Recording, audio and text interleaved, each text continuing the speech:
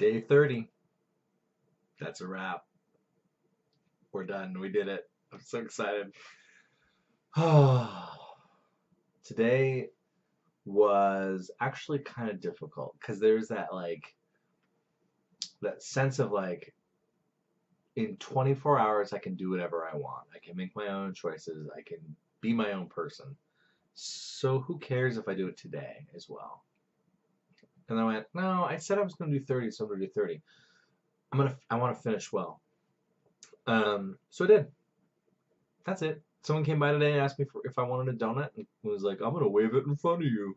I don't know why people think that's a funny trick, where like if someone's dieting, you like put food in front of them to tempt them, or I guess. I don't know. It's not a good look. If you do that, don't do it. Uh, it's not funny. You just come across kind of as a jerk. But yeah, I wasn't the least bit tempted. I wasn't disappointed that I couldn't partake. It was fine. Uh, the red vines no longer mean anything to me. Yeah, I didn't quite have enough breakfast today, so I had an apple earlier, and it was, it was fine. Yeah, I did good. And today, to finish the whole 30, the whole thing, I made curry, and I finally got it right. So here's the secret about curry that I didn't know. Curry is basically red curry powder, coconut milk, and crushed red pepper with stuff in it.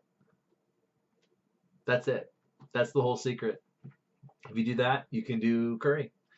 Uh, so yeah, I made a bunch of veggies, made some chicken, put it all in the thing, put put all the uh, aforementioned curry secret ingredients in there, and I had curry. And it was awesome. It tasted just like real live curry. Um, the, I almost so my gut was telling me that there wasn't enough like liquid, and but I went no, I'm following a recipe, so I gotta. It, it I want to do it the way it was intended the first time, and then I can modify from there. So I can say, oh, I doubled the coconut milk, but this time it didn't work out as well.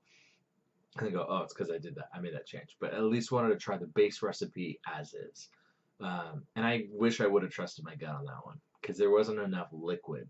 Um, which brings to mind the one of the I don't. I still don't know how I'm gonna break this diet. Like what I'm gonna try and reintegrate first. Um, but one thing I want to try and see how my body feels with is rice. Because this curry would have been perfect if it was over rice. Um, and cauliflower rice, I'm sorry, you're just not rice. You you're named rice, but you're not. People are lying to you.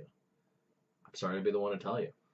Uh, so yeah, that's that's the situation. Um, yeah, I'm so excited. I'm, I'm no longer under the the slave enslaved by the oppressive diet. Uh, but yeah, I also don't know how I'm gonna how I'm gonna break it the I did get an email from a barbershop person saying like, "Hey, it's someone so and so's last day for a while, so we're gonna throw a party. There's gonna be pizza and cake." And I was like, "There you go, problem solved. I'm gonna feel real bad on Thursday morning." And then we said, "Oh, but it's at this, it's at the an afterglow." Which I've watched my other videos if you don't know what an afterglow is. We do apparently an afterglow after every rehearsal, and I don't partake because I have to go to work the next day. Uh, so I'm not going to be involved in any of that. So it's still up for grabs how I'm going to break my fast. I'm not sure what I'm going to do. So yeah, whole 30. I don't know. I may keep doing these to to do like reintegration. And I know I asked Johanna if she would do like a live uh, version of this just to like debrief and talk about it. Um, and maybe take questions if there's questions. Um, so we may do that who knows? Up for grabs. We'll see. Uh, yeah. So that's that's whole 30. See how easy it is?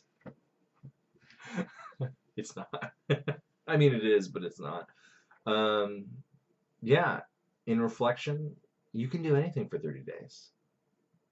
And if I can do it, you can do it. I had a very unhealthy addiction with food.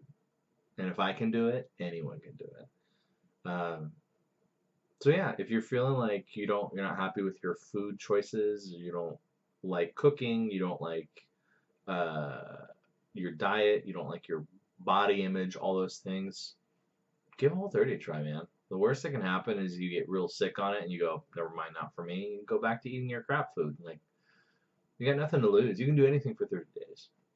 You can uh, still stick to Whole 30 despite traveling. You can still do it despite parties. You can still do it despite life circumstances. And it just helps you reevaluate your relationship to food. And it's worth it. I mean, we are talking about doing another one.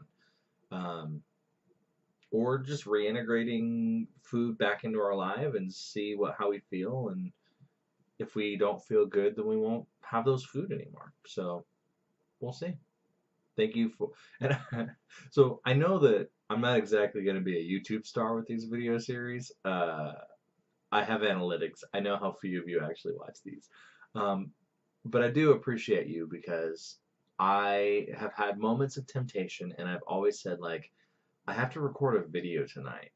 Do I really want to tell everyone that I gave in for some stupid red vines?